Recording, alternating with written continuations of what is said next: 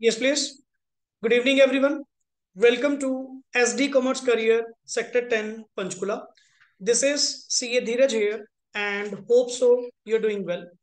In the previous class, statistics का sir हम लोगों ने एक छोटा सा topic about the presentation of data को लेकर about bar diagrams and pie charts के रिगार्डिंग आप लोगों ने प्रैक्टिकली क्वेश्चंस भी करके देखे प्लस उसकी टाइप्स के रिगार्डिंग भी हमारी डिस्कशन हुई कि सर बार डायग्राम्स कौन कौन सी तरह के होते हैं क्लियर एंड ऐसे ही एक नया टॉपिक जो आज हम डिस्कस करने वाले हैं that is all about textual and tabular presentation of data clear chapter five आपकी बुक के अंदर क्लियर चैप्टर फाइव तो बेसिकली सर यहाँ पे जो आज का कंटेंट है, ये आप लोगों का थ्रेटिकल भी प्लस न्यूमेरिकली भी आप लोगों के लिए क्या आएगा सर काम आएगा। क्योंकि सर नॉर्मली जितने भी एग्ज़ाम्स देखे गए हैं one of the question stats के अंदर वन ऑफ़ द क्वेश्चन आप लोगों का regarding tables formation of table को लेकर काफ़ी बार नंबर ऑफ़ टाइम क्वेश्चन क्या हो चुका है रिपीट हो चुका है क्लियर चाहे वो किसी भी स्कूल की बात है नॉट ओनली ये तो जस्ट अपने एक्सपीरियंस से मैं नॉर्मली बात कर रहा हूँ कि इस टॉपिक में से वन ऑफ़ द क्वेश्चन तो श्योरली चाहे आप उसको न्यूमेरिकल कह लीजिए न्यूमेरिकल तो क्या सर, एक टेबल आप लोगों ने बना के देना होगा। या मे बी आप उसको थ्रेटिकली कह लीजिए। ज़्यादा चांसेस थ्रेटिकल के ज़्यादा है, क्योंकि इसमें मैं दो क्वेश्चंस आपको पर्टिकुलरली क्लिक करवाऊँगा एंड वो आपके मेन एग्ज़ाम के अंदर कवर होगा ही होगा। ये, चलिए सर यहाँ पे स्टार्ट करते हैं। सबसे पहले तो वर्ड आपके सामने जो लिखा हुआ है that is called as presentation of data sir statistics के अंदर हमें सिखाए ही तीन चार वर्ड जा रहे हैं। स्टार्टिंग से कलेक्शन से लेकर डाटा को ऑर्गेनाइज कैसे करना है क्लासिफाई कैसे करना है एंड क्लासिफाई करने के बाद उसकी मेन मेन इंपॉर्टेंस होती है प्रेजेंटेशन के ऊपर वर्क करना।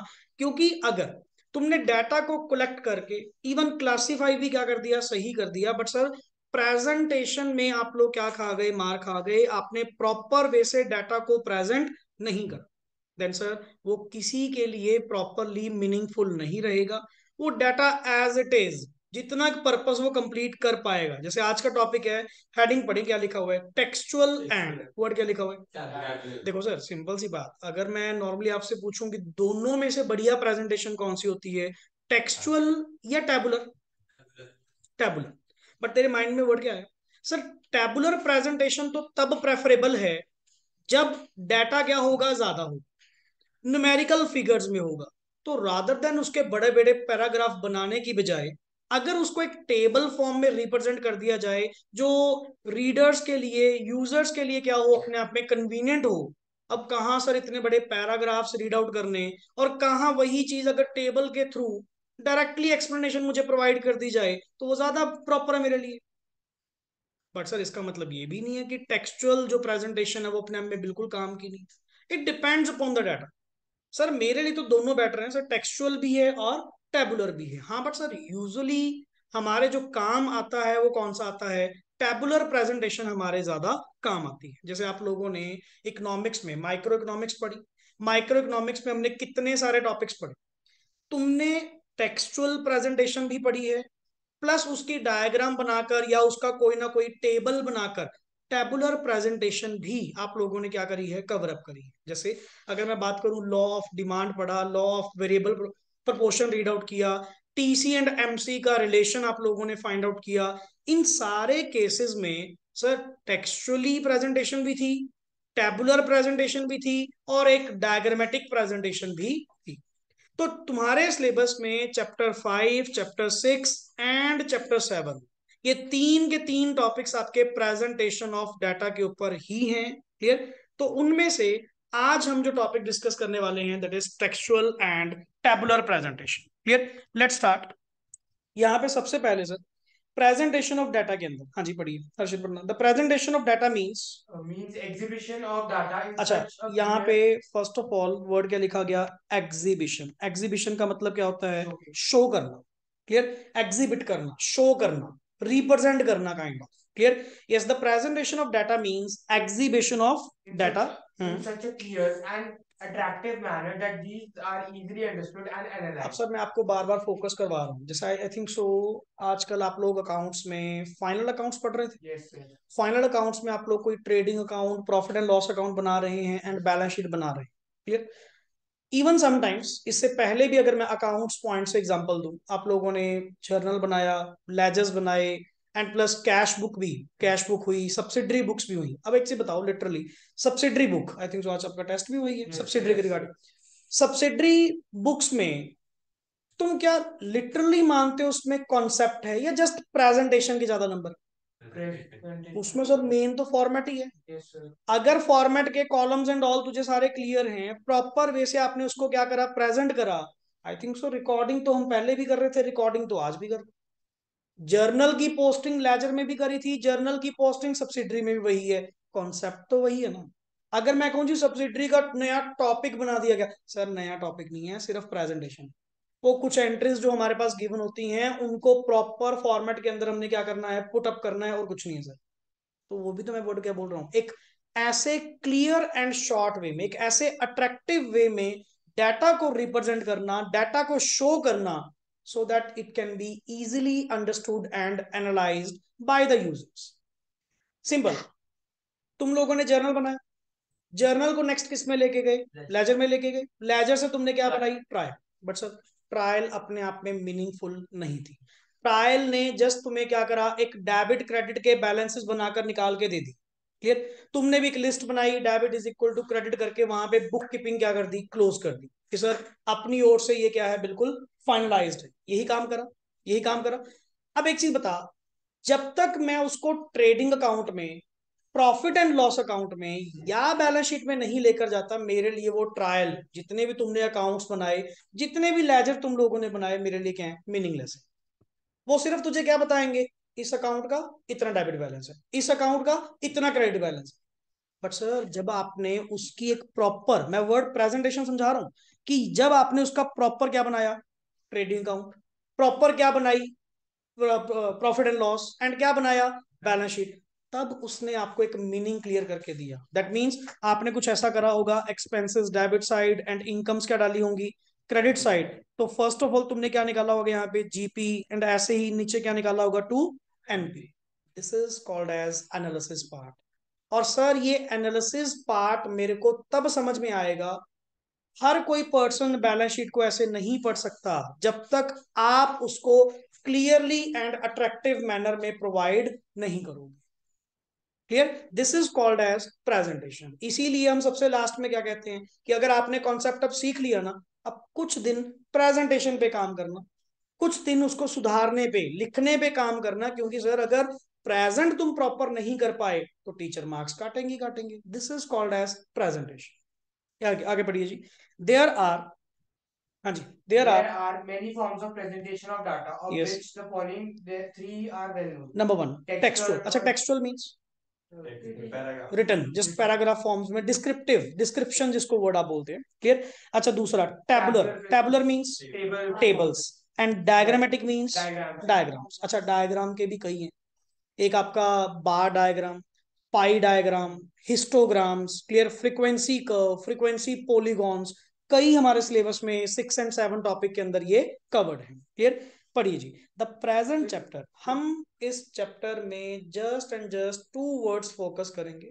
टू भी तो कहने के सर मेन तो एक ही है टैबुलर टेक्सुअल का तो एक ही जस्ट पैराग्राफ है फ़र्स्ट पेज में दैट्स इट क्लियर बट मेरा फोकस आपके ऊपर है सिर्फ़ टेक्सचुअल एंड टैबुलर को लेकर क्योंकि diagrammatic six and seven chapter के अंदर आपके कवर हो जाएँगे। Clear yes presentation of data Presentation of data. Diagrammatic presentation of data is Hmm. discussed in this next chapter. पढ़िए जी सबसे पहले टेक्सचुअल Textual हाँ जी textual presentation, data are the part of Of text the of study text of the study और a part of the description of subject matter of the study yes such a presentation is also called as ऐसी presentation को हम क्या word use करते हैं sir descriptive presentation के नाम से भी कहते हैं this is the most common form of most common वो तो है ही है सर अगर लेटेड भी आप मुझसे कोई पर्टिकुलर डाटा लेना भी चाहते हो मैं क्या जस्ट पेपर पेन दो सर मैंने वहीं पे डिस्क्राइब कर दिया जो जो डाटा आप लोगों को चाहिए था। क्या मैंने उसके कुछ टेबल्स बनाए?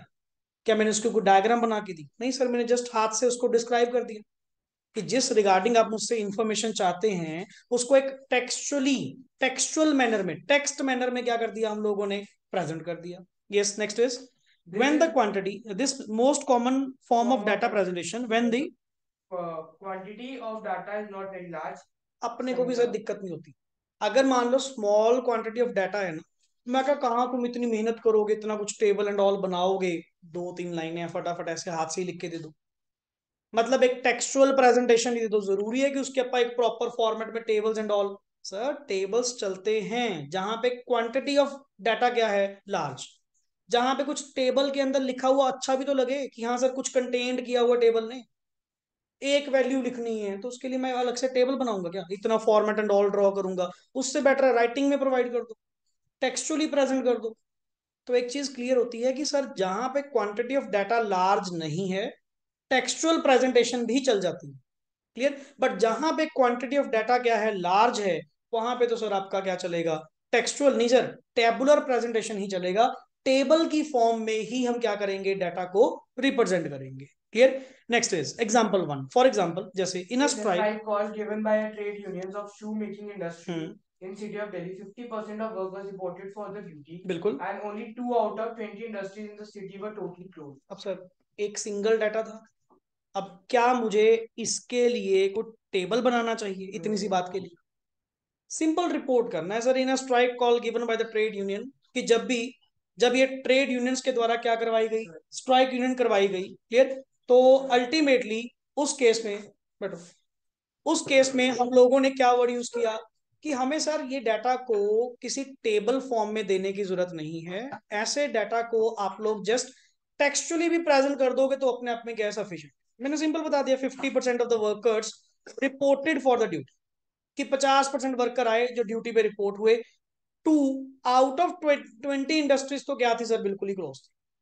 तो सर इतनी बात के लिए मैं अलग से टेबल बनाऊँ दैट इज़ नॉट कंपल्शन हमने क्या करा उस डाटा को टेक्सचुअली ही क्या कर दिया प्रेजेंटेशन कर दिया। ऐसे ही आपके पास कुछ एग्जांपल टू है। मेन पढ़िए सर सुटेबिलिटी देखो, जो चीज़ यहाँ पे रीड करने वाली नहीं होगी, मैं ऑटोमेटिकली पहले ही आपको स्किप करवा दूँगा। बट जो अच्छी राइटिंग पार्ट है, जो आपको करना चाहिए, वो यहाँ पे ज़रूर लिखा जाए।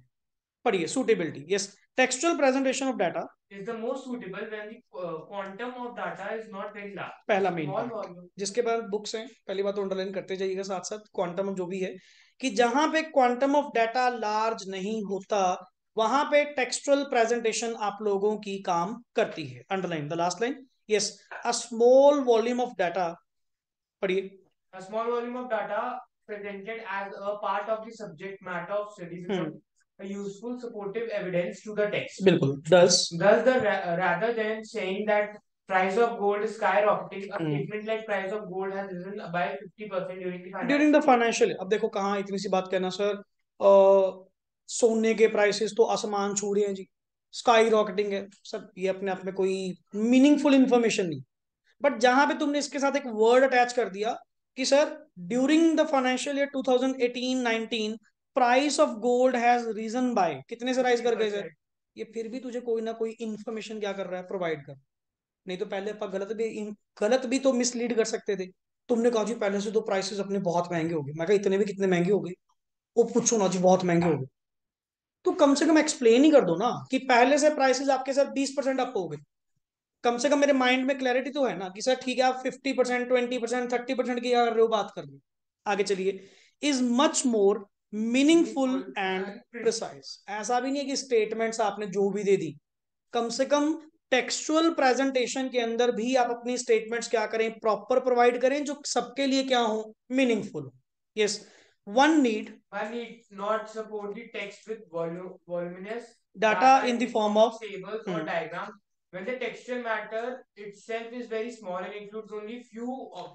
कुछ ऑब्जर्वेशन है। या तो कहो, सर, मेरे पास बहुत सारी ऑब्जर्वेशन है नोट डाउन करने वाली, फिर तो मैं वहाँ पे टेबल्स आपको प्रिस्क्राइब करूँ कि नहीं, सर टेबल्स बनाओ। जहाँ पे कुछ ऑब्जर्वेशन हैं, कुछ लिमिटेड डाटा आप लोगों के पास है लिमिटेड कंटेंट है तो क्यों ना उसको टेक्सचुअली प्रेजेंटेशन दे दें? हाँ टेबल आपके शॉर्ट एंड क्लियर होते हैं। टेबल्स आपके शॉर्ट एंड क्लियर होते हैं, उसमें ज़्यादा इंफॉर्मेशन नहीं लिखी जाती। तुमने इवन जितने भी आज तक टेबल्स बनाए इवन इंडेक्स नंबर भी आप लोग करके आए हो सिंपल वर्ड प्राइस क्वांटिटी कुछ आजू बाजू साइड पे नहीं लिखा होता। डायरेक्टली वर्ड्स लिखे होते हैं टेबल के अंदर। बट सर टेक्सचुअल प्रेजेंटेशन के अंदर ना एक प्रॉपर लाइंस प्रोवाइड की जाती है प्रॉपर ऑब्जर्वेशन देख, कितना लिखा हुआ? During the financial year 2018-19 the prices of gold has risen by 50 percent पूरी स्टेटमेंट प्रोवाइड करी है। एंड इस स्टेटमेंट ने आपको एक प्रॉपर मीनिंग क्या करा? प्रोवाइड कर। तो सर टेक्सचुअल में ना, जहाँ पे ऑब्जर्वेशन आपकी कम हो तो टेक्सचुअल प्रेजेंटेशन भी अपने आप में मीनिंगफुल होती है। ऐसा नहीं कह सकते कि सिर्फ़ टेबल्स काम के होते हैं। इनमें तो कुछ ही नहीं पढ़ने को है। हाँ बट सर अगर तुम ये स्टेटमेंट्स ही बहुत बड़ी बड़ी बड़ी बड़ी यूज़ करोगे देन वो एक लेवल पे कोई पर्सन उसको पढ़ेगा ही नहीं। जैसे आप लोगों ने एक चीज़ देखी होगी पैराग्राफ फॉर्म पॉइंट फॉर्म दोनों में से ज़्यादा कन्वीनियंट कौन से होते हैं? पॉइंट्स में। क्योंकि रीडर भी, हम जैसे लोग पढ़ते टाइम भी, अब बुक के सामने देख, इतना बड़ा पैराग्राफ है। मैं तो इसी की एग्जांपल ले रहा हूँ।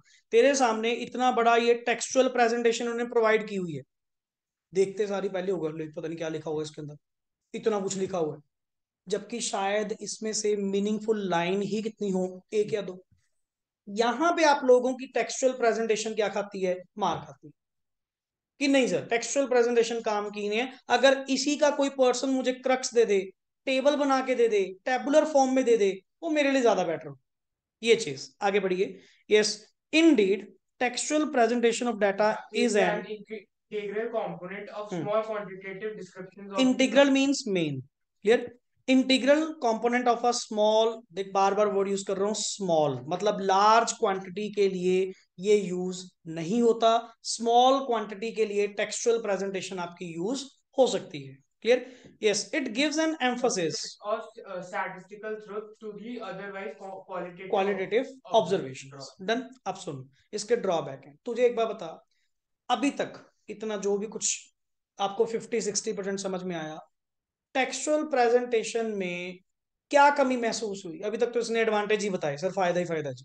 कि जहाँ पे स्मॉल क्वांटिटी होगी तो वहाँ पे टेक्सचुअल प्रेजेंटेशन अपने आप में क्या है? बेटर है। ड्रॉबैक क्या होंगे इसके? सर नंबर्स के साथ हम मतलब कर नहीं सकते ज़्यादा ज़्यादा नंबर्स ऐड मतलब लार्ज क्वांटिटी ऑफ़ अगर क्या होगा डाटा होगा वहाँ पे सर ये जो आपकी टेक्सचुअल प्रेजेंटेशन है ना वो क्या बन जाएगी? बोरिंग बन जाएगी। एंड कोई भी पर्सन इतने बड़े बड़े पैराग्राफ्स इतने बड़ी बड़ी टेक्सचुअल प्रेजेंटेशन कोई नहीं रीड करता। हर पर्सन क्या कहता है सर इसका कोई टेबल दे दो। क्लियर जो शॉर्ट एंड क्लियर वे में लिखा हो हमने तो ऑब्जर्वेशन ही देखनी है तो वो कौन सा टेबल से नहीं पता कर सकते? आप मुझे इतने बड़े बड़े पैराग्राफ्स पढ़ाओगे मीनिंग तो उसका भी वही निकलना है। तो सर इसको टेबल फॉर्म में दे देते। समझ गए ना बात? फॉर एग्ज़ाम्पल पढ़िए। A serious drawback presentation of data is that one has to grow through the entire text main cheese. Go through the क्या वर्ड लिखा हुआ है? Entire text अब एक चीज़ बता। तेरे सामने ऊपर ये पैराग्राफ था ना? पहली बात ये प्रेजेंटेशन कौन सी हुई? टेक्सचुअल कौन सी हुई? टेक्सचुअल एक चीज़ बता जब यहाँ पे ये line I during the financial year 18 19 the prices of gold has risen by कितने से? 50 परसेंट क्या तुम इतनी लाइन पढ़कर नीचे वाला छोड़ दोगे सारा? अपने माइंड में क्या होएगा? कि देखना कहीं नेक्स्ट लाइन में कुछ और लिखा हो। उससे नेक्स्ट लाइन में कुछ और लिखा हो। चल, ये लाइन तो काम की नहीं निकली, शायद उससे अगली लाइन में कुछ और लिखा हो। मतलब जब तक मैं पूरा कंटेंट नहीं पढ़ लेता जब तक पूरा टेक्स्ट जितनी भी तेरी ये एट टू नाइन लाइंस हैं, जब तक ये कंप्लीट मैं रीड नहीं कर लेता, मैं अपने आप को सेटिस्फाई नहीं करवा पाऊँगा कि मैंने डाटा पूरा रीड करा या नहीं करा। अब यही चीज़ अगर इन्होंने प्रॉपर एक टेबल फॉर्म में आपको क्या की होती प्रोवाइड की होती, कम से कम तुम्हें इतना तो क्लियर है ना कि इस टेबल के अलावा और कुछ नहीं है। अगर मैंने इस टेबल को पढ़ लिया, समझ लिया मतलब इसके अलावा और कोई अदर इंफॉर्मेशन नहीं है जो मुझे देखनी पड़ेगी।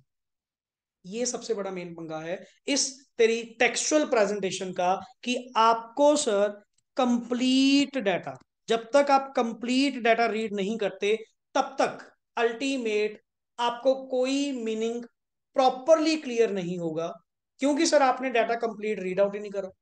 और यही अपने आप में सबसे बड़ा क्या बन जाता है ड्रॉबैक कि मुझे पहले तो सारा पूरा टेक्स्ट पढ़ना पड़ेगा, फिर उसके अकॉर्डिंग टू आपको रिप्लाई देना पड़ेगा। ये this is the main problem next is पढ़िए। A picture or a picture or a set of bar showing increase in the price of gold during the specified period certainly quite informative on a casual glance of the reader अब देख इसने भी तो price के बारे में बात करी। अगर वही प्राइस का ये मुझे कोई ना कोई डायग्राम शो करके दे देता वो भी तो अपने आप में क्या थी? इंफॉर्मेशन क्या थी? प्रोवाइडेड थी। डायग्राम से ही मुझे क्या हो गया? क्लियर हो गया कि सर जो प्राइसेस ऑफ़ द गोल्ड हैं वो अपने आप में क्या हो रहे हैं? फ्लक्चुएट हो रहे हैं। किसी ईयर में ज़्यादा थे किसी ईयर में कम थे और आज की डेट में क्या है? तो इसके लिए मुझे इतना बड़ा टेक्सचुअल प्रेजेंटेशन पढ़ने की क्या ज़रूरत? जब मेरे को मीनिंग क्लियर हो तो रहा है already next is yes textual presentation of data on the other hand does not offer anything to the reader at a mere glance of uh, text matter. बिल्कुल। The reader must read. Near glance समझते हो? Crux कि अगर मैं तुझे कह दूँ जी दस लाइन लिख के दे दी, क्या वो दस की दस अपने आप में कंक्लूजन है क्या? नहीं सर वो आपको पूरा टेक्स्ट पढ़ना पड़ेगा और कंक्लूजन खुद ही क्या करना पड़ेगा? ड्रॉ करना पड़ेगा। बट देख, जो डायग्रामेटिक होती हैं, जो टेबल फॉर्म में होती हैं, वो डायरेक्टली अपने आप में क्या होती हैं? मियर ग्लास कंक्लूजन सर कि फाइनली ये है। वो आपने सारी वर्डिंग सारी लाइंस ऑलरेडी क्या कर दी? स्किप कर दी।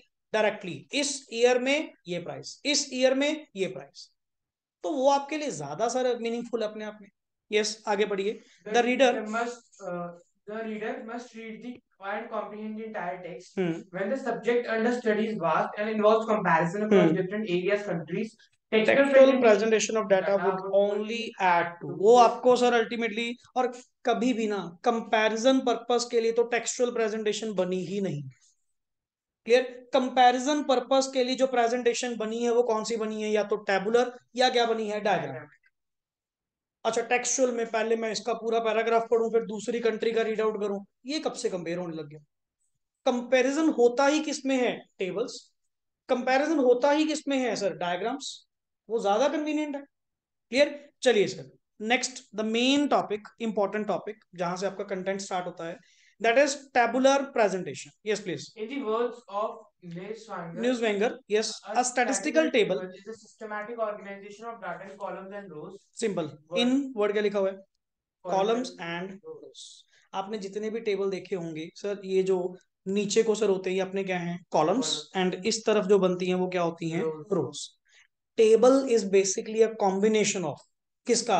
रोज एंड कॉलम्स एंड उस रोज एंड कॉलम्स में जब आप अपना डाटा इनपुट कर देते हो दैट टेबुलर प्रेजेंटेशन की वो बात कर रहा है। क्लियर तो यहाँ पे sir vertical dissections of the table are known as columns and horizontal dissections are known as rows sir next on ये आपको रीड करने की ज़रूरत नहीं है। हमने एक डेफिनेशन पढ़ ली, बहुत है। क्लियर पढ़िए जी। नेक्स्ट इज़ मेन चीज़ सबसे इंपॉर्टेंट जो मैं आपको कह रहा था कि मैं आपको दो क्वेश्चंस यहाँ पे click करवाऊँगा clear number one is parts और स्पेशल वर्ड चलता है क्या? कंपोनेंट्स ऑफ़ टेबल तेरे पास लॉन्ग क्वेश्चन में अगर कवर होगा इस टॉपिक में से स्टैटिस्टिक्स के अंदर फाइव मार्क्स में डायरेक्ट क्वेश्चन आपका बनता है explain the components of a table table के कंपोनेंट्स को क्या करें? एक्सप्लेन करें. क्लियर पहले सिर्फ़ नंबर नेम पढ़ना अंदर से रीड नहीं करेंगे क्योंकि पहले अपन डायग्रामेटिक एक बार देख लें। फ़र्स्ट पढ़ना क्या लिखा हुआ है? Table number table number table number means सबसे पहले उसकी आइडेंटिफिकेशन देना क्लियर कि अपन कौन से टेबल नंबर की बात कर रहे हैं? नंबर टू क्या लिखा हुआ जी? Title title means title means heading क्योंकि सर एक बात बताओ इन्फॉर्मेशन आपने अंदर लिख तो दी। वो इन्फॉर्मेशन है किस बारे में? उसका टाइटल कौन देगा? टाइटल पढ़कर ही तो हमें पता लगता है कि अल्टीमेट इस बॉक्स के अंदर कौन सी इंफॉर्मेशन कंटेन्ड है। Clear number three number three पढ़ना क्या लिखा हुआ है? Head note sir in simple words जो टाइटल के थ्रू मैं शायद ना समझा पाऊँ। अच्छा टाइटल लॉन्ग होने चाहिए कि शॉर्ट होने चाहिए?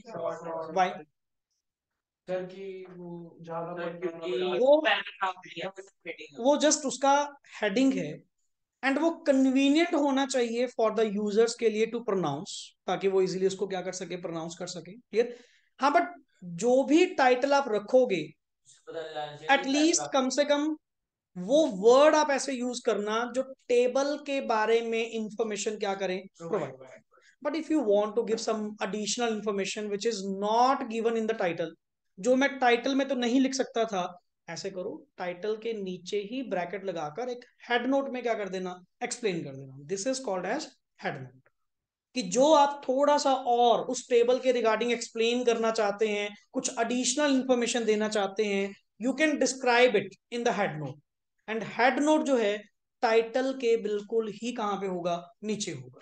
क्लियर आगे पढ़िए। स्टब्स स्टब्स क्या होती हैं sir stubs are the rows rows के जो हेड होते हैं। रोज के जो हेड होते हैं they are called as stubs number five number five क्या जी? कैप्शन कैप्शन क्या होती हैं? कॉलम के हेड रोज के हेड को क्या बोलते हैं? सब कैप्शन के हेड्स को क्या बोलते हैं? सॉरी कॉलम्स के हेड को क्या बोलते हैं? कैप्शन क्लियर अंदर से पढ़ेंगे।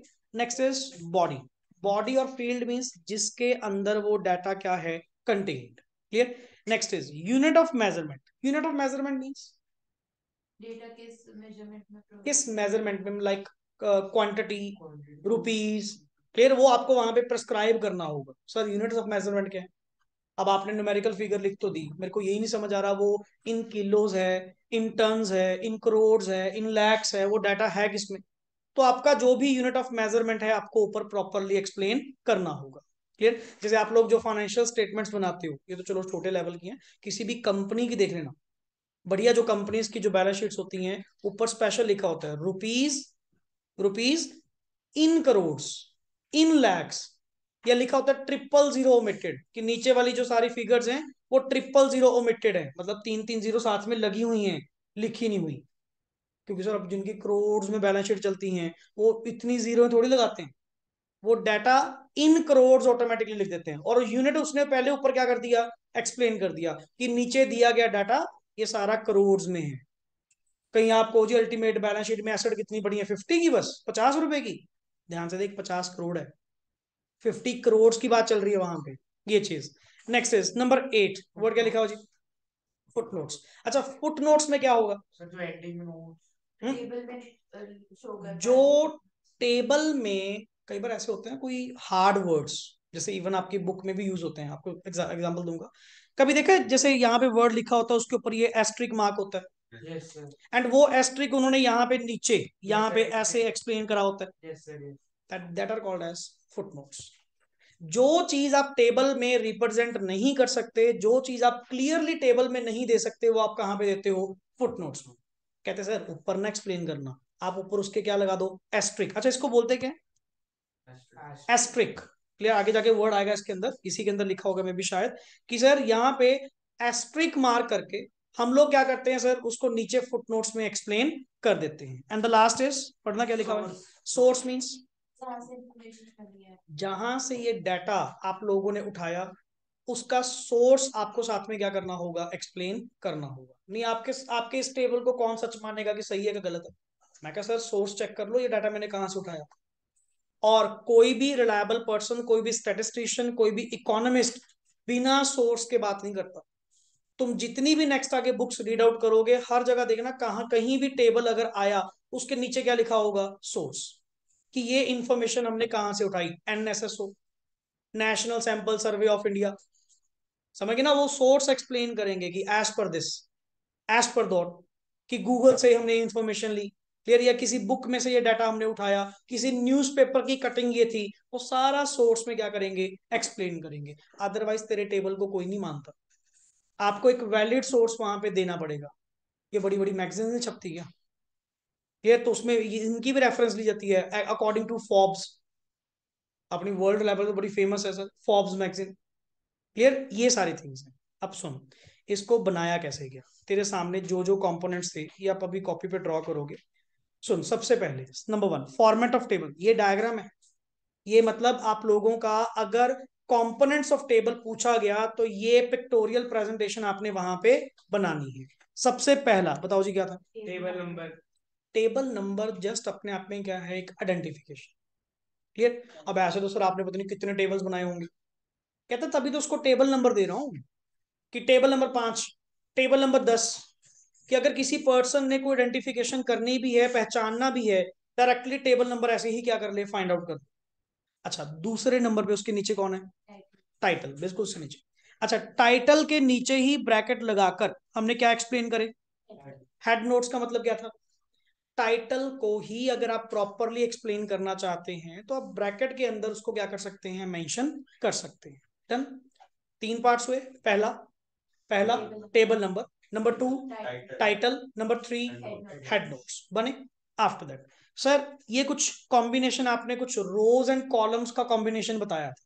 क्लियर रोज के जो हेडिंग होते हैं रो के जो हेड होते हैं उनको हम वर्ड क्या बोलते हैं? स्टब्स उनको वर्ड क्या बोलते हैं? स्टब्स और जो कॉलम के जो हेड होते हैं कॉलम के जो हेड होते हैं इनको वर्ड क्या बोलते हैं? कैप्शन क्या वर्ड बोलते हैं? कैप्शन ये पढ़ा तुम्हारे सामने. डन अच्छा ये जो है ये अंदर का जिसमें तुम्हारा डाटा कंटेन्ड होगा that is called as body that is called as body और वर्ड कहते हैं जिसको फ़ील्ड क्लियर जिसके अंदर डाटा आप लोग क्या करेंगे? मेंशन करेंगे. यहाँ तक क्लियर आगे चलिए. सर ये रहा आपका फुटनोट फुटनोट का मीनिंग क्या था? जो टेबल में आप प्रॉपरली एक्सप्लेन नहीं कर पाए वो फुट नोट्स के थ्रू क्या कर देंगे? Explain and the last is last क्या है जी आपका? सोर्स जो फुट नोट के नीचे ही क्या होगा? प्रोवाइडेड होगा.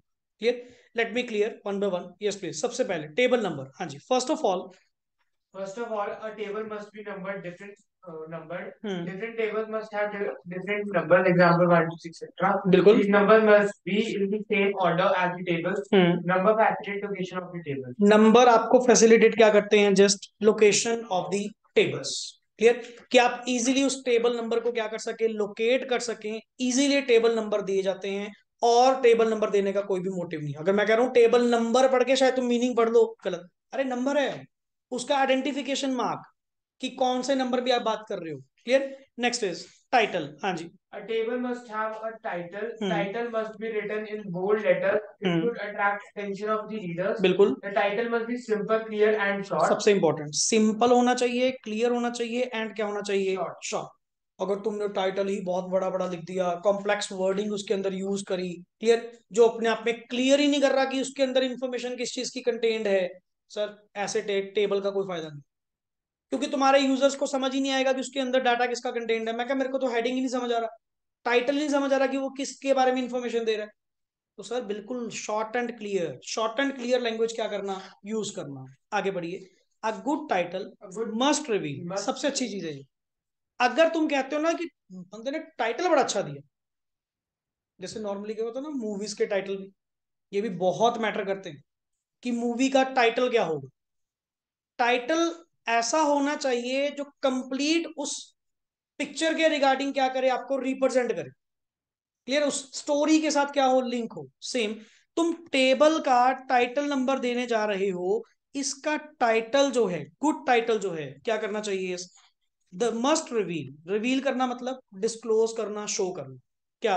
Number one problem under concentration. मतलब द प्रॉब्लम अंडर कंसिडरेशन किसके बारे में बात चल रही है? The time period of the study जैसे आपने लिखा था ना प्रोडक्शन ऑफ़ वीट ड्यूरिंग 2015 से लेकर 2020 तक।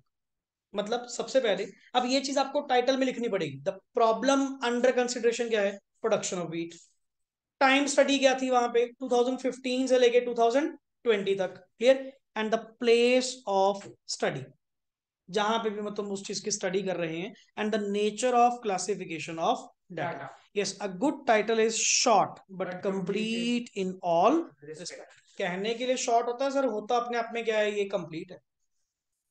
यार वर्ड ऐसा चुनना वर्ड ऐसा असाइन करना जो कंप्लीट उसकी रिप्रेजेंटेशन आपको प्रोवाइड करे। Clear number three head note yes if the title title of the table does not give complete information, Hmm. it is supplemented with a head note. Underline Head इसको mark कर लीजिए line को। अच्छी line है जी। अगर आपका table complete table का जो टाइटल है, वो कंप्लीट इंफॉर्मेशन आपको प्रोवाइड नहीं कर पा रहा तो उस केस में आप उसको सप्लीमेंट सप्लीमेंट मींस एडिशनल एक हेड नोट देकर क्या कर दीजिए? एक्सप्लेन कर दीजिए. Yes head note head node complete, completes the information in the title of the table. Mm. Thus, units of data are generally expressed in the form of lakhs, mm. tons, etc. And preferably, and preferably in brackets, brackets as a head node. Yes, please. Stubs. Stubs are the title of rows of a table. These title indicate information contained in the rows of the table, mm. captions, Caption is the title given to the columns of the table. Hmm. A caption indicates information contained in the column of the table. बिल्कुल ये दो word याद रहेंगे stub rows के head captions columns के head clear a caption में है अच्छा कैप्शन के अंदर नेक्स्ट कॉलम के अंदर सब कॉलम हो सकते हैं जिनको हम वर्ड सब हेड्स भी बोल देते हैं when information contained in the column is subdivided in more than one class for example sir Caption. Caption है students stub next sorry sub heads कौन है उसके? बॉयज़ गर्ल्स आगे उनके भी नेक्स्ट वन हो सकते हैं सर क्या? नेक्स्ट आगे बॉयज़ गर्ल्स के बाद rural urban clear educated uneducated आप नेक्स्ट नेक्स्ट से नेक्स्ट जितना मर्ज़ी डिटेल में टेबल बना सकते हैं. क्लियर नेक्स्ट इज़ बॉडी और field yes please Body of a table means sum total of the items in the table. Hmm. Thus, body is the most important part of the table. It बिल्कुल। indicates values of various items in the table. each Each item in the body called each item in the body underline कर लेना one mark के लिए each item in the body is called a cell clear जो भी उस body के अंदर जितने भी डाटा कंटेन्ड है each item of the body is called as cell sir unit of measurement हमारा हो चुका डाटा जिसमें भी एक्सप्रेस्ड होता है वो यूनिट ऑफ़ मेज़रमेंट आपको क्या करना चाहिए डिस्क्लोज करना चाहिए क्या लिखा हुआ है the unit used The unit used for measurement of figures in the table must be specified along with the title. बिल्कुल दस if the table shows pop population figures, it must be specified whether the figures are expressed in the term of lakhs बिल्कुल sir मैं जब table बनाऊँगा तो side पे मैं पहले लिख दूँगा इन लैक्स जिसकी बात चल रही है या इन करोड़ मैं पहले उसको क्या कर दूँगा एक्सप्लेन कर दूँगा नहीं तो अदरवाइज़ इतनी बड़ी फिगर्स हम टेबल के अंदर थोड़ी यूज़ करेंगे। वो तो क्वाइट हमारे लिए मुश्किल हो जाएगा। Clear foot notes are given for clarification of the reader these are generally given when information in the table needs to be supplemented supplemented means अगर additional कुछ देना पड़े तो footnote के थ्रू क्या कर देना? Explain कर देना। Otherwise need नहीं। Source. When tables are based on किसके ऊपर? क्या वर्ड लिखा हुआ जी? Secondary data. Sir what do mean by secondary data data is to be given. Secondary data क्या होता है? एक आप लोगों ने पढ़ा था primary data So secondary data secondary जो ऑलरेडी गिवन होता है। जो सेकंड हैंड जो ऑलरेडी किसी ने कलेक्ट किया पड़ा और अगर आप किसी का डाटा यूज़ कर रहे हैं तो जहाँ से भी इंफॉर्मेशन आपने ली देन आपको अपना सोर्स क्या करना पड़ेगा? डिक्लेयर करना पड़ेगा। मतलब सर अगर प्राइमरी है अगर आपने खुद वो इंफॉर्मेशन कलेक्ट करी देन सोर्स थोड़ी एक्सप्लेन करेंगे। सोर्स तब एक्सप्लेन करो जब किसी की इंफॉर्मेशन आप लोग यूज़ कर रहे हैं। इसीलिए पर्टिकुलर वर्ड क्या है यहाँ पे? सेकेंडरी नॉट प्राइमरी क्लियर या source of data is to be given source of data is specified below ये सबसे लास्ट में। फुट नोट से भी नीचे। इट शुड गिव क्या? Name of the publication publisher year of publication reference page number सब कुछ। प्रॉपरली उसमें आप क्या करते हैं? एक्सप्लेन करते हैं। क्लियर तो जी कॉपी ओपन करो। हेडिंग दो कंपोनेंट्स ऑफ़ टेबल मेरे को फटाफट एक बार बिना देखे सर डायग्राम जो हमने ड्रॉ की थी। सबसे पहले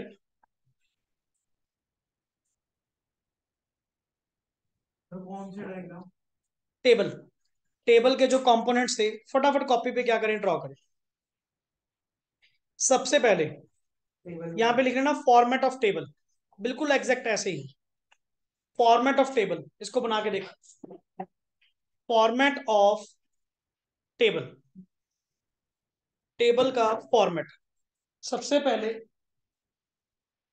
सबसे पहले टेबल नंबर इंपॉर्टेंट क्वेश्चन है बार बार बोल रहा हूँ फाइव मार्क्स में एग्जैक्ट आपसे डायरेक्टली पूछा जाएगा कि कंपोनेंट्स ऑफ़ टेबल क्या करें एक्सप्लेन करें। क्लियर तो टोटल अपने नाइन कंपोनेंट्स हैं इसके अंदर, जो पॉइंट्स आपने रीड आउट करे। सिर्फ़ ये डायग्राम अगर अच्छे से बना लोगे एक एक वर्ड आपको थ्योरी का भी अंदर से याद रहेगा। सबसे पहले ऊपर टेबल नंबर और सेंटर में सर साइड पे मत लेके जाना। टेबल नंबर एंड टाइटल ये दोनों कहाँ पे होते हैं? सेंटर में होते हैं। कहीं इसको साइड पे ले जाओ।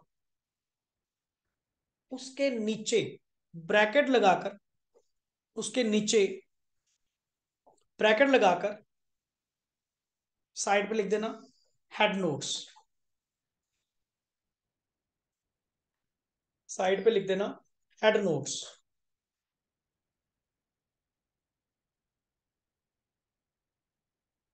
साइड पे लिख दीजिएगा हेड नोट्स देन एक लाइन छोड़कर एक लाइन छोड़कर ये बॉक्स बनाइए सर.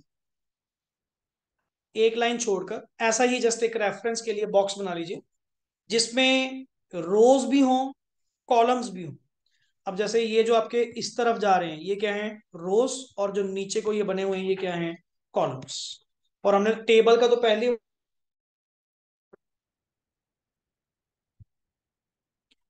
बनाइए जी फटाफट जल्दी।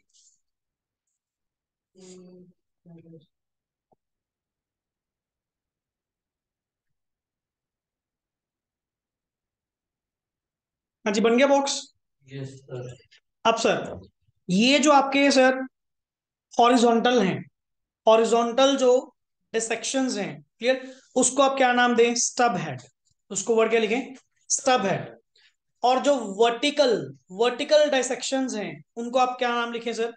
कैप्शंस ये जो कॉलम लिखा हुआ ना यहाँ पे, कि सर ये आप लोगों के क्या होते हैं? कैप्शंस सर, वहाँ पे वर्डिंग वहाँ पे जस्ट हमने क्या यूज़ करी? बनाओ जी आप। साथ साथ कंटिन्यू करें।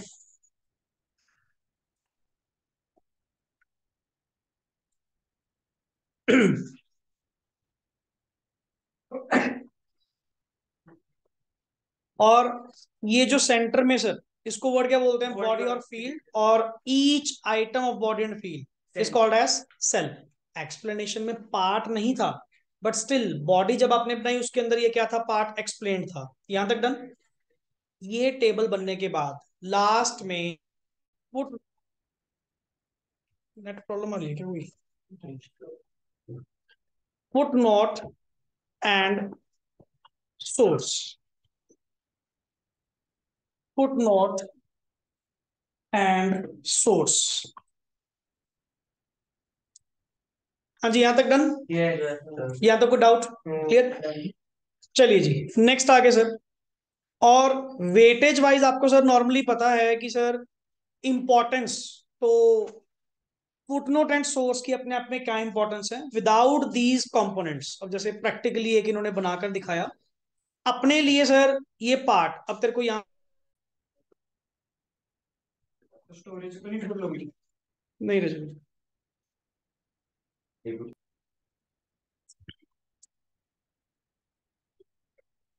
चलिए जी। यहाँ पे जो हम डिस्कशन कर रहे थे, जो एग्ज़ाम्पल नेक्स्ट ऑन एक इन्होंने प्रैक्टिकल पॉइंट्स यहाँ पे प्रोवाइड की हुई है आप लोगों के लिए। सर इस कंटेंट के अंदर क्या है? मैं आपको यहाँ पे थोड़ा सा एक्सप्लेन कर देता हूँ। क्लियर सबसे पहले देख टेबल में। सर ये तो एक तो सर आपका क्या गिवन है? टेबल नंबर सबसे पहले। नंबर टू ये क्या गिवन है सर टाइटल क्लियर प्रोडक्शन और जो तुमने कहा था जो टाइटल है वो दो तीन थिंग्स रिवील करता है। पहला द प्रॉब्लम अंडर कंसिडरेशन अब नाम पढ़ के तुझे पता लग गया production of food grains clear अच्छा लोकेशन एक्सप्लेन करेगा लोकेशन ऑफ़ स्टडी कहाँ पे?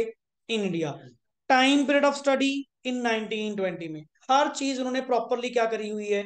एक्सप्लेन करी हुई क्लियर अच्छा उसी के नीचे ब्रैकेट में उन्होंने क्या करा अपने units of measurement plus head notes क्या कर दिए एक्सप्लेन कर दिए। डन आफ्टर दैट तुमने क्या करा सबसे पहले सर फ़ूड ग्रेन्स में जो जो कंटेंट आप लोगों ने टेकअप करा क्लियर अच्छा ये आप लोगों की क्या है? Rice wheat others rice rice wheat others ये आप लोगों के कौन से हेड्स हैं?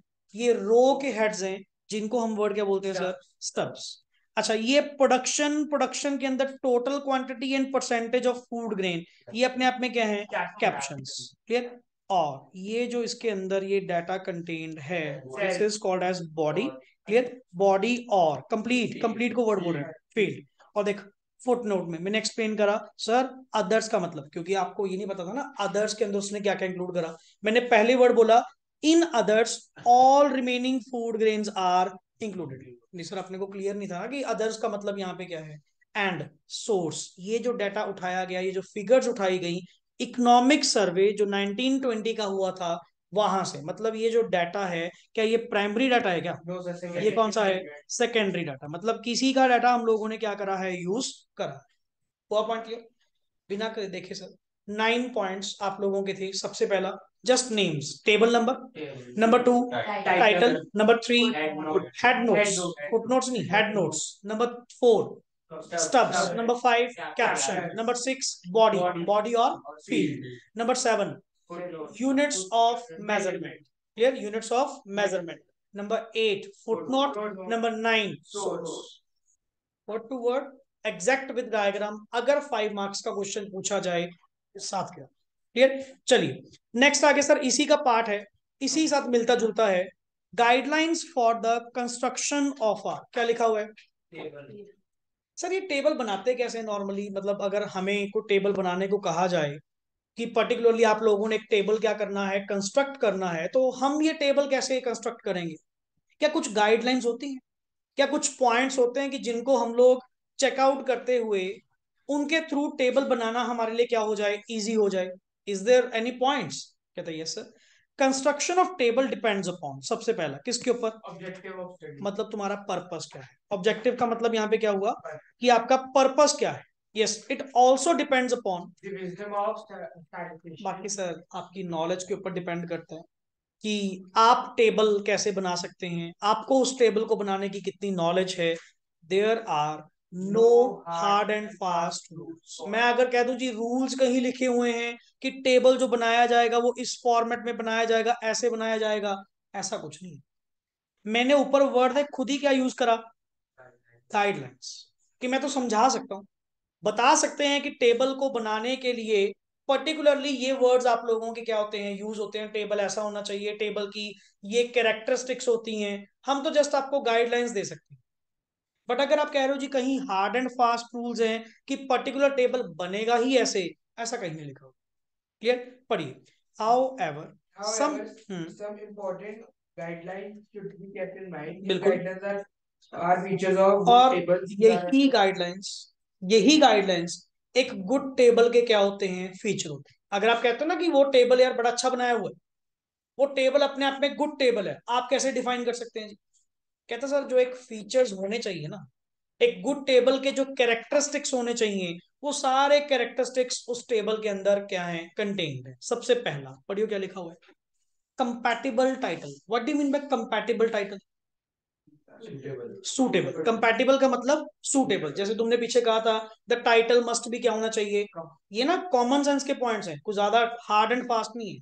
जस्ट सिंपल रीडिंग का पार्ट है और ये टॉपिक्स ऐसे हैं। फाइव सिक्स सेवन एक बार तुमने अच्छे से कर लिए। क्लियर एक लेक्चर के काम होते, ज़्यादा नहीं है सर। एक बार तुमने अच्छे से अगर कर लिया नेक्स्ट टाइम दोबारा तुम्हें सर पढ़ने की ज़रूरत ही नहीं पड़ेगी। जस्ट डायरेक्टली पेपर से पहले ही आपको एक बार देखने पड़ेगा। और बार बार समझा रहा हूँ स्टैटिस्टिक्स ही आप लोगों का मेन स्कोरिंग पार्ट है। इसमें कोई नंबर मत जाने देना। क्लियर क्योंकि जो आप लोगों की माइक्रो इकोनॉमिक्स है, उसमें टॉपिक काफ़ी अच्छे अच्छे हैं। उसमें क्वेश्चन वो थोड़े घुमा फिरा भी सकते हैं। स्टैट्स के अंदर आपका ऐसा कॉन्सेप्ट नहीं होगा। डायरेक्ट पार्ट होंगे। इनमें नंबर मत कट करवाना। क्लियर तो ये जो सिंपल सिंपल टॉपिक्स आपको आने वाले हैं, इनमें तो आप अपनी स्ट्रेंथ लेकर चलेंगे सर ये टेक्सचुअल प्रेजेंटेशन वाला पाई डायग्राम जितने भी हम लोगों ने बनाए, ये सारे हमें online okay mean medium mode हुआ कोरिलेशन इंडेक्स नंबर हुआ, कोई इसमें दिक्कत नहीं है सर सिंपल से पॉइंट है। हाँ जस्ट एक बार फॉर्मूला रिवाइज करने पड़ेंगे, एक स्क्रीनिंग करनी पड़ेगी। बट ऐसा नहीं है कि सारा ही दोबारा समझना पड़ेगा। ये काम नहीं पढ़िए जी। अच्छा टाइटल ऑफ़ टेबल मस्ट भी क्या होना चाहिए? Compatible with the objective of the study. बिल्कुल। कंपैटिबल का मतलब मैं यहाँ पे लिख दूँ? क्या वर्ड लिख रहे. Suitable yes the title should be placed at the कहाँ पे? Top center of the table. हमने भी कहाँ पे लिखा था? Top centre of the table number two अच्छा कंपैरिजन मतलब?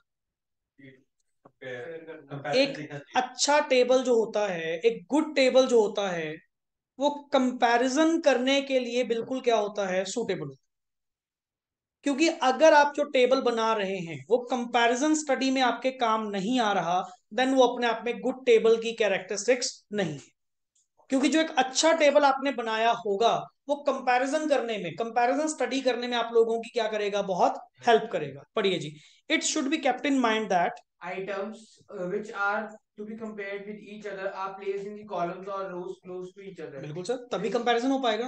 अब एक डाटा कहाँ पे एक डाटा कहाँ पे? वो कंपेयर ही नहीं हो पा रहा। कम से कम कंपेयर करने के लिए आप लोगों को वो दोनों को एक दूसरे के आमने सामने क्या करना होगा? प्लेस करना होगा। जैसे एक छोटी सी एग्जांपल लूँ। आप लोगों ने कोरिलेशन टॉपिक करा। उसमें हम लोग क्या करते थे जो डाटा आप लोगों के पास गिवन होता था तुम डेविएशंस निकालते थे।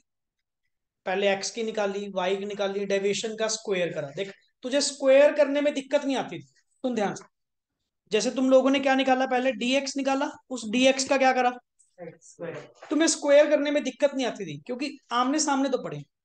इसी आइटम्स को उठाकर तुमने क्या करना था. स्क्वायर क्लियर फिर तेरे पास वाई आया y का तुमने क्या निकाला? डी वाई निकाला। फिर क्या आया? डी वाई स्क्वेयर आया। एंड फिर लास्ट में जाके डी एक्स डी वाई कुछ ऐसे बनाया जब तुम डी एक्स डी वाई करते थे ना, तुम्हें स्पेशली फिंगर्स रखनी पड़ती थी कि, सर, इसको, इसके साथ क्या करना है? मल्टीप्लाई मतलब तुझे डिफिकल्टी क्या होती थी? फील होती थी। अगर ये दोनों कॉलम्स ये dx और dy, एक दूसरे के आमने सामने होते, तुझे यही dx dy इजीली मल्टीप्लाई करने में क्या आता? काम आता। कहा तुझे स्पेशली सर फिंगर्स रखनी पड़ेगी? इन दो वैल्यूज़ को क्या करना है? मल्टीप्लाई करना है। कि कहीं मैं गलती से स्किप कर दिया और पूरा का पूरा चार्ट क्या हो जाएगा? गलत हो जाएगा। This is called as comparison कि सर जो आइटम कंपेरेबल होती हैं उनको हम एक दूसरे के सामने ही क्या करते हैं? प्लेस करते हैं। Clear next is yes special emphasis पढ़िए जी। Some item may need special emphasis. Emphasis अच्छा एम्फोसिस मतलब? एम्फोसिस मतलब?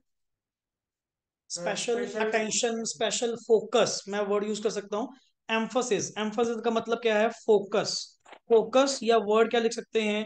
Attention clear next is such items should be placed Such items should be placed in the head rows, हाँ. top above, or the head columns, extreme left. बिल्कुल. Moreover, such should be presented in bold figures. और अगर तुम्हें ज़्यादा लगे किसी item को अगर आपने ज़्यादा हाईलाइट करना है सबसे बढ़िया क्या करो? उस आइटम को क्या कर दो?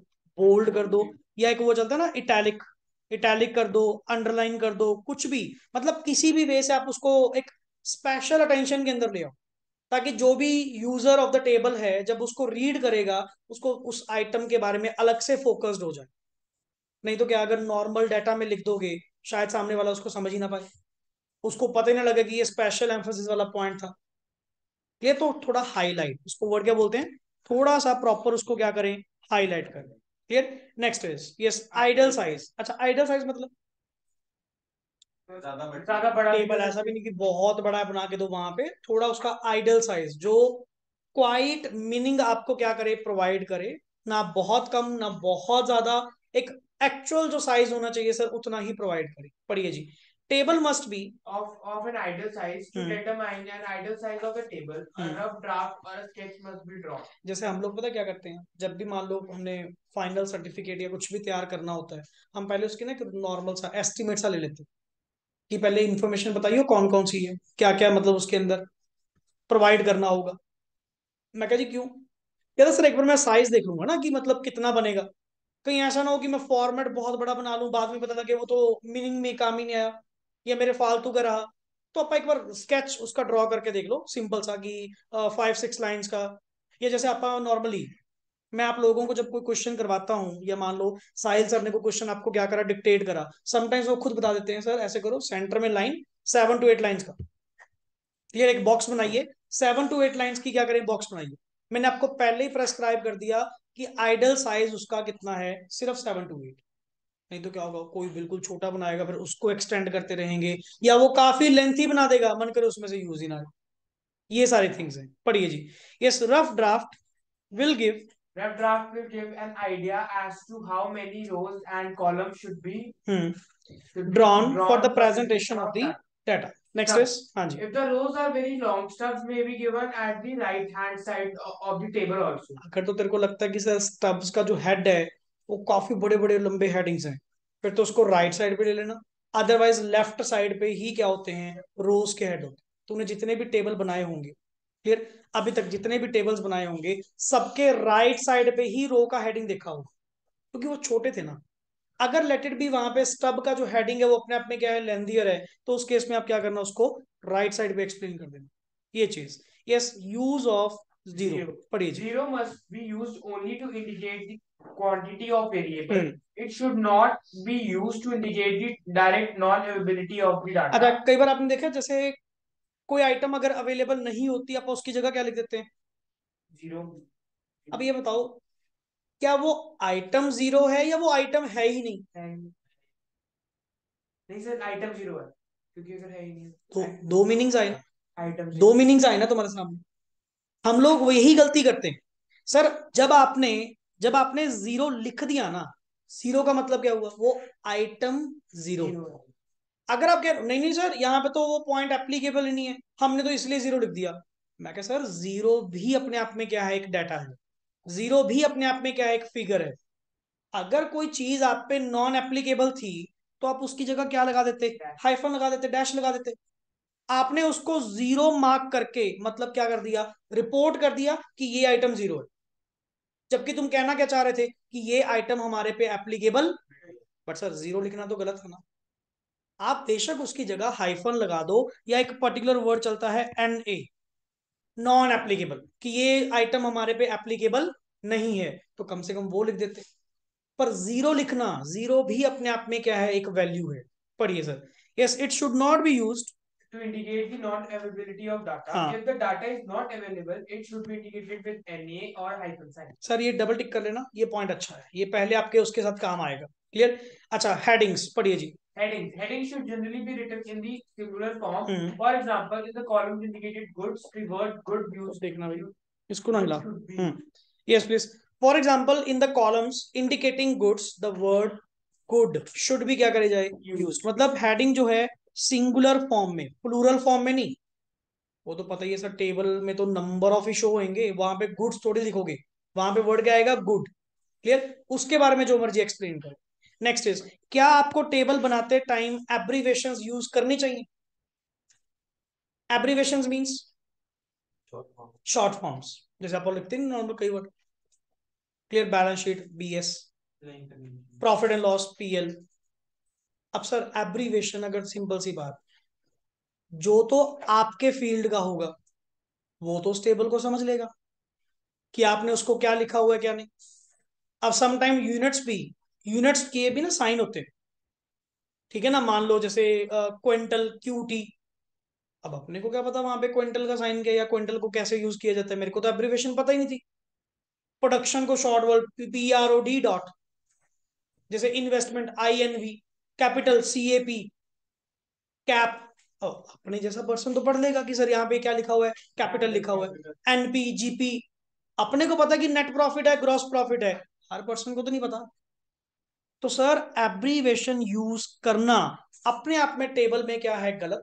या फिर आपने देखा होगा, वो एक बार प्रॉपरली एक्सप्लेन कर देते हैं प्रॉपरली एक्सप्लेन कर देते हैं और आगे फिर पूरे डॉक्यूमेंट में या पूरी जगह वर्ड क्या चलता है? एब्रीवेशन बट वन टाइम वो क्या कर देंगे? एक्सप्लेन कर देंगे. पढ़िए. Use of abbreviation should be avoided in the heading or the subheading of the table. बिल्कुल. Short forms of the words such as government या गवर्नमेंट एमपी अब Government- किसी को क्या पता गवर्नमेंट एमपी का मतलब क्या है? गवर्नमेंट के मॉनिटरी पॉलिसी की बात कर रहे हैं जो नेक्स्ट टर्न आगे होती है.